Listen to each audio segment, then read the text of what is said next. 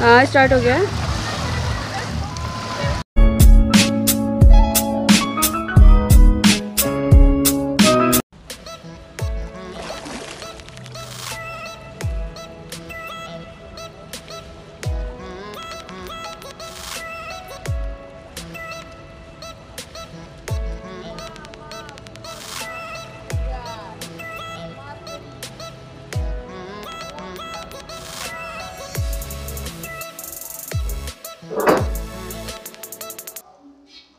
good morning from day three तो परसों हमने लैंड करा था ऐसा लग रहा है कि काफ़ी दिन हो गए हैं।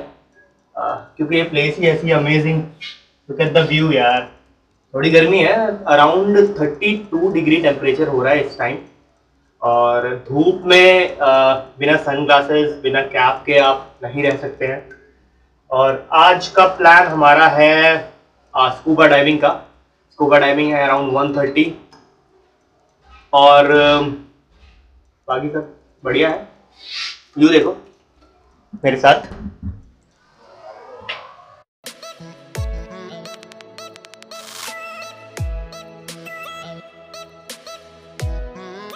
Okay okay. जब मैं अकेले ट्रैवल करता हूँ या अपने दोस्तों के साथ ट्रैवल करता हूँ तो हम एक क्रीम भी भूल जाते हैं मतलब मुँह पे लगाने के लिए तो अभी जो मैंने लगाई है, क्योंकि मैं अपनी वाइफ के साथ ट्रैवल कर रहा हूँ और बात माननी पड़ती है पूरी पूरी। पहले मैंने ये मॉइस्चराइज़र लगाया। ठीक है? ठीक है? उसके बाद मैंने ये अल्ट्रा शील 50 एफ़ की सनस्क्रीन लगाई। उसके बाद मैंने एक और सनस्क्रीन लगाई 50 एफ़ की। तो मेरे मुँह पे इस टाइम तीन लेयर्स हैं। तो भाई टैनिंग पास भी बता ठीक है? क्योंकि मेरे पास मेरी वाइफ है वाइफ बचा रही है तुम देख रहे हो। या, देखा? घाटे हैं तो फ़ायदे भी हैं। ओह क्या घाटे? घाटे क्या होते हैं? घाटे मतलब? घाटे? कौन से घाटे? जमा घाटा। मेरी चश्मों की दुकान है ठीक है? दिखाऊँ? पक्का? ये देखो। ये। मैं चार दिन के लिए आया हूँ बट पता नहीं मैं इन चश्मों को क्या करूँगा। क्या करना है इनका? इतने चश्मों का। क्या करते हैं? मतलब इतने सारे तो हम पहन भी नहीं पाएँगे। क्यों नहीं पहन पाएँगे? पहन लिए आधे उनमें से हमने। और आधे अभी और पहनेंगे। तो ये फ़ायदा है ना? अगर आप मॉलडीव या ऐसी कोई जगह आ रहे हैं जहाँ पे आपको ज़्यादा कपड़े लाने नहीं छोटे मोटे कपड़े लाने तो आप ज़्यादा सामान ला सकते हैं। Quantity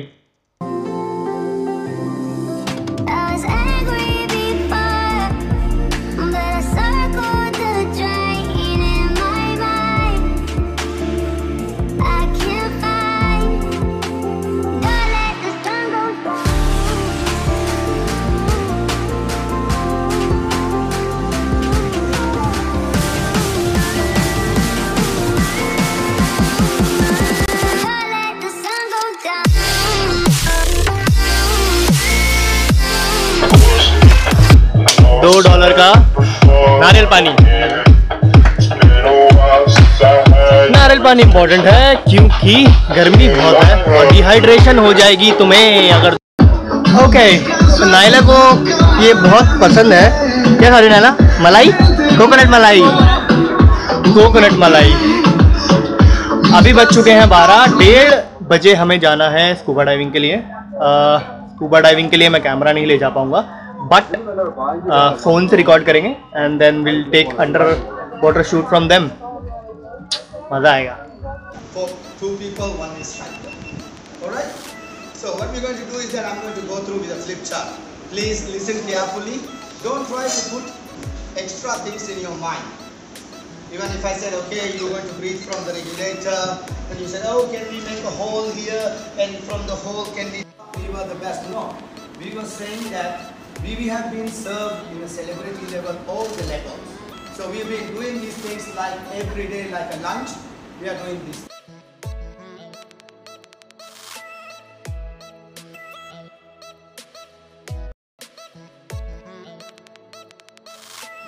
Go up, go down, slow down, take it easy. Ear problem, check your air gauge. out of air. सो हम भी अब अपने ज़िंदगी मिलेगी ना दोबारा वाला मोमेंट जीने जा रहे हैं। ब्रीफिंग हो चुकी है for scuba diving heading towards harbour boat के लिए। नाला? एक्साइटेड हो? हो? बहुत ज़्यादा डरी हुई हूँ मैं। बात पचास बार पूछ चुकी है कि हो पाएगा नहीं हो पाएगा। मैंने बोल दिया होगा होगा। हो ही जाएगा वैसे तो। कल भी तो करा था। ठीक है। अगर स्विम अलाउड नहीं होती तो वो लोग तुम्हें बोलते ही हम्म, हाबड़ देखो।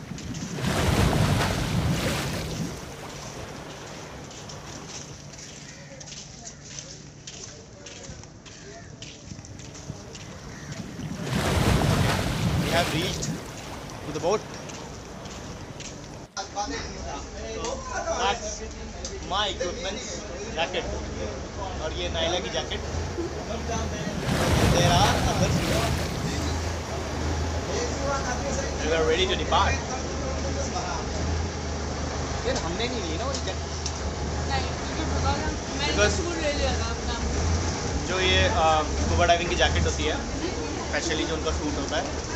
वो जब काम आता है तब ठंड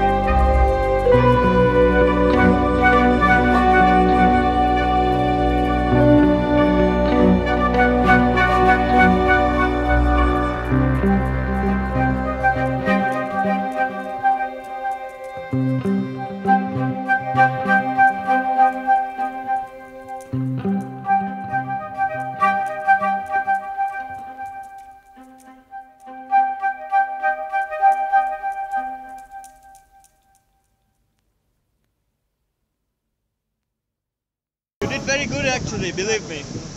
Very good, very brave. Not bad at all. सो थोड़ा टायर्ड थे स्कूबा डाइविंग करने के बाद वी हैड आर मोमेंट ज़िंदगी ना मिलेगी दोबारा वाला जो हो जाता है ना गाने में ज़िंदा है हम वाला गाना गाना है क्या डायलॉग है जो भी है यूँ सांस नहीं क्या था वो ये बहता नीलम सा पानी नहीं वो तो एक और है एक और है।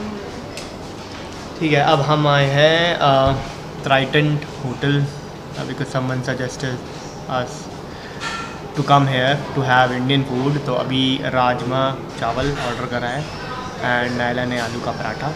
तो देखते हैं हाँ, आलू का पराठा और आ, राजमा चावल कैसे होते हैं। इन्होंने बताया कि यहाँ जितनी भी पराठा या रोटी मिलती है वो आटे की नहीं होती है वो कॉर्नफ्लावर की होती है।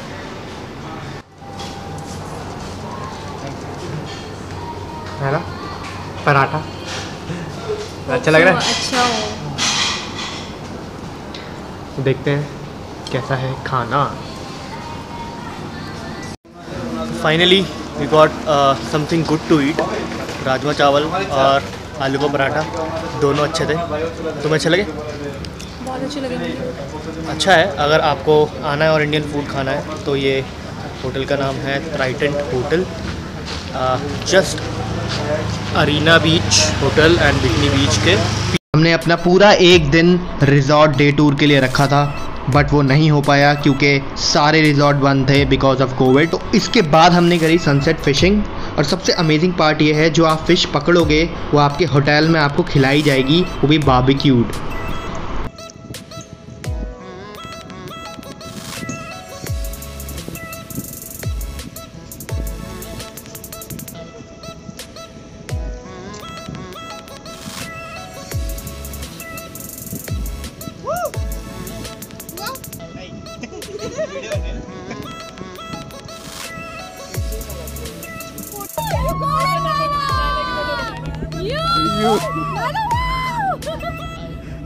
बारबेक्यूड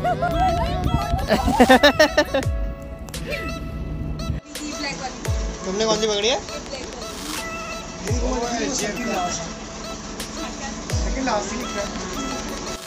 सो एट लास्ट हम लोग पहुँचे फ्लोटिंग क्लब ये एक मुस्लिम कंट्री है और यहाँ पे कोई भी क्लब नहीं है लोकल आइलैंड्स पे. तो इन्होंने शिप्स रखी हैं जिस पे आप पार्टी कर सकते हो और अपनी ड्रिंक्स वगैरह जो भी है वो ले सकते हो।